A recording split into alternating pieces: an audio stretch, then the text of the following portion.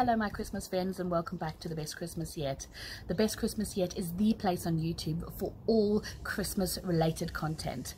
Today is Top Tip Tuesday and I've got a fantastic tip for you to help you to plan for Christmas and have everything you need ready to plan, ready to get organized when I do my Christmas planning, I like to be organized. I like to have everything in one place so I can just take it out and do my planning. Sometimes I will do my planning in a coffee shop.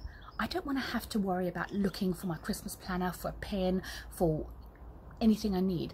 I like to keep all of that together in a Christmas tote bag. I used to have a lovely Christmas tote bag, but last year it gave up the ghost. So I'm on the lookout for a new one. But what I do is, is I inside this tote bag, I put my planner, some lovely pens, my favorite pens, because who doesn't need a good pen? My favorite pens and um, some hot chocolate sachets, maybe a couple of Christmas treats, and I sit down and I do my planning. If I want to go to a coffee shop and go and do my planning in a coffee shop or away from the family, if I have some time, I can just pick up that tote bag and off I go. If you've liked this video, give it a thumbs up, hit the notification bell and don't forget to subscribe. There is more fantastic Christmas content coming up. In the meantime, keep calm and be merry.